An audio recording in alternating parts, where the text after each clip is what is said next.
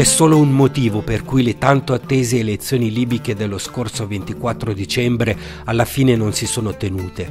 Le avrebbe vinte Saif Gheddafi, figlio dell'ex colonnello libico. Un sondaggio realizzato in Libia lo dava intorno al 50%, peraltro confermando quel che tutti in Libia già sapevano. Come già successo per le elezioni del 2014, quando la volontà popolare non corrisponde ai desideri della Nato, le milizie entrano in azione. Questa volta è stato occupato militarmente il palazzo della commissione elettorale a Tripoli una settimana prima del voto e la commissione è stata costretta con le armi puntate a cancellare le elezioni per il sollievo dell'Europa e della Nato. L'elezione di Saif Gheddafi avrebbe consentito di insediare a Tripoli, per volontà del popolo libico, un presidente in grado di smantellare questo potere mafioso militare, arroccato a difesa della capitale contro i restanti due terzi del paese.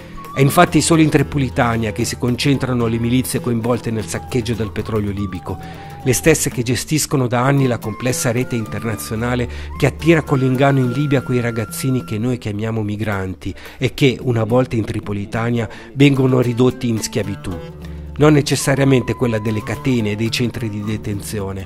Infatti, anche chi è in libertà rappresenta comunque una forza lavoro gratuita a disposizione. I work for you, you pay me. Outside from my You give my money. You don't, no, you don't fight me. You don't fight me. You pay me my money. Ramadan, not left. Not left. Barra. Barra. Outside. Outside. Outside. fight me. You were staying. I work for him. Barra. To pay me, he refused to pay me. Where is the fucking book? I work for him for good 21 days. He never paid me a dime. And he also. He's blowing me also. I need justice. I need justice for this. I need justice today. Fire! Outside! Thank God. Outside. You saw everything he's doing. Fire! He's fighting me. He saw my clothes. I work for him. He refused to pay me. No problem. I need justice. I need justice.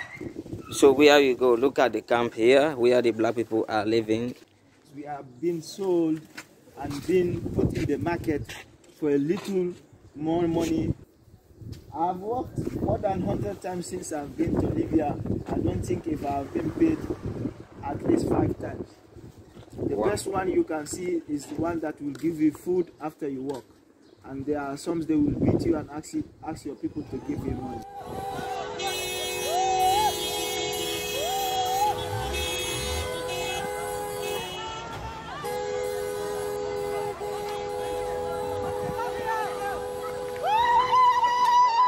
Nei primi giorni dello scorso ottobre, a Tripoli e dintorni, è stata lanciata una vasta operazione di polizia che ha portato all'arresto di alcune migliaia di migranti. Dopo alcuni giorni, circa 2000 di loro sono riusciti a scappare dal centro di detenzione di Al-Mabani, a Tripoli, e riversarsi nelle strade. Tra coloro che non sono riusciti a fuggire, nessuno è stato rimpatriato. Al contrario, è stato chiesto loro un riscatto per tornare in libertà. Coloro che non se lo sono potuto permettere sono tuttora in stato di detenzione. Alcune centinaia di coloro che hanno diritto alla protezione internazionale, già registrati presso l'UNHCR, una volta fuggiti dal centro di detenzione, senza soldi e senza sapere dove andare, si sono accampati per protesta all'esterno della sede della struttura delle Nazioni Unite, dove tuttora si trovano dalla fine di ottobre, per chiedere un'immediata evacuazione dalla Libia. This is a this is a UNHCR, the CDC in Tripoli. That's right. I just come here now, and you can see the situation of the migrant. Like there are many women here, and the kid. So they are here. You can see where they are living now. You know, they came here not because this place is safe, but because they need evacuation, they need protection, because they were pushed away from their house, and some of them were taken to the prison, to Mobani, and from Mobani they escaped and they came here, you know. Secondo i dati dell'UNHCR, l'Alto Commissariato delle Nazioni Unite per i rifugiati, sarebbero circa 40.000 i rifugiati già censiti e registrati presenti in Libia, queste persone hanno il diritto ad essere evacuate verso l'Europa o paesi sicuri, ma in tutto, secondo la stessa fonte, sarebbero 700.000 i migranti schiavi presenti in Libia. Ma come è fatto un centro di detenzione? Ecco delle immagini registrate all'interno da un migrante schiavo. Di fatto solo poche migliaia sono detenuti nei centri, ma è anche vero che il ricambio è continuo. Una volta che il migrante paga è libero e lascia il posto a quello successivo. We have been here for a long time in this detention center. This is our big hangar. This is our big room. That it's it contains 500 refugees. Questo invece non è un centro di detenzione, è il centro di un trafficante privato. È a questo tipo di figure che i migranti schiavi si rivolgono quando vogliono tentare la traversata. Tutto avviene apparentemente in gran segreto.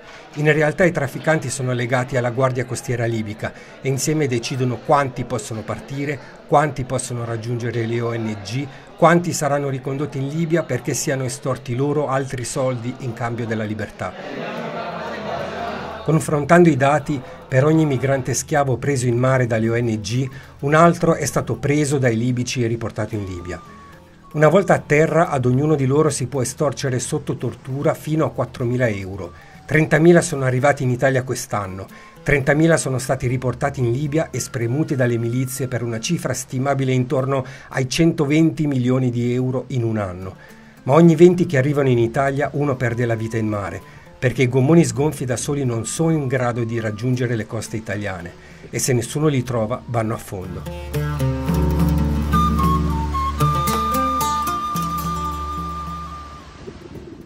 I'm talking from Saladin. Saladin. The war here have make everywhere so I don't know how to put this. But if you see everywhere, you will see that everywhere is quite shut down. So it's not that easy for us here in Libya. It's not that easy for us. Please, I'm in Nigeria. Please, I'm calling. If you if you people can assist me with any little thing, I can go back to my country. It's not easy here. We I we worked last month. They refused they refused to pay us. They said oh, that we should stop coming to work. That they they want to close. We have been calling the lady for our salary, but she refused to pick. We don't have food. Don't have anything. Even water to drink. We drink the water from the pipe, the salt water. You can see it. Hello everyone. I'm from Nigeria. I stay in Libya. So I've been here for almost five years. I'm 35. I'm 30 years of age. I've attempted to cross the water almost four times, and I was got caught many times and arrested. And my next plan on is to see money so that I can go back to my country and make things good for myself, so that I can start afresh. Because I have many family in Nigeria that, to, that they, are, they are looking up to me. So and here now there's no job nothing nothing. If you even work no guarantee of payment they are doing all like slavery.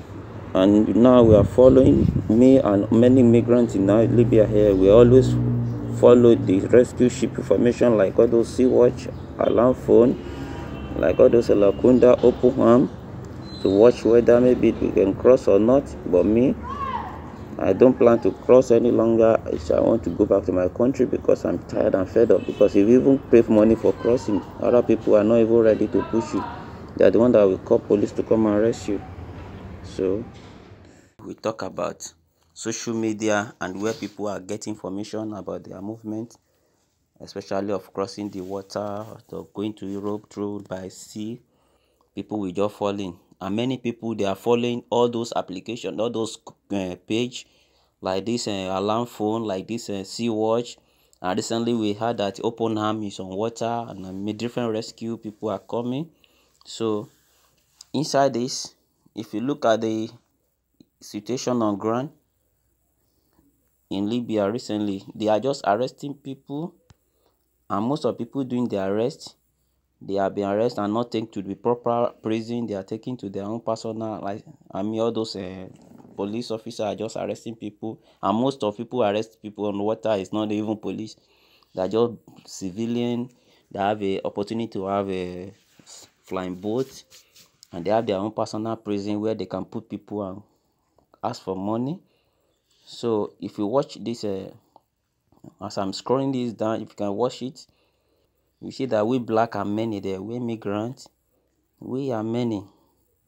We are many. We are the one that comment most there. If you look at it, we follow everything and they focus on it and they believe any information that come out from there, especially this alarm phone, is where people normally get their information from as immigrants.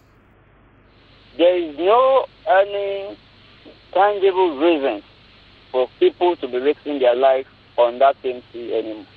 We've lost a lot of people's life on that sea. And the boat they are coming to is nothing, it's not a normal boat. And put like 150, 200 people on a, on a balloon, like a balloon. So it, it, it is very light. It doesn't have the power. It doesn't have the power or the ability to accommodate such amount of people. But what I see there is that is like there is a connection between the NGOs and the Libyan traffickers. Do you understand me? There is no way a boat will move from uh, Libya here that the NGOs will not be aware of it. So if there is no any connection within the NGOs and the Libya traffickers, things like that are not be, cannot be happening. So what I would suggest for my people and everyone hearing this program is they should stop this Mediterranean Sea. No one should go and risk their life anymore on the Mediterranean Sea. Negli ultimi anni 60.000 migranti schiavi hanno ottenuto un rimpatrio gratuito dalla Libia al loro paese attraverso un programma dell'OIM, dimostrando che l'equazione o Europa o morte è infondata.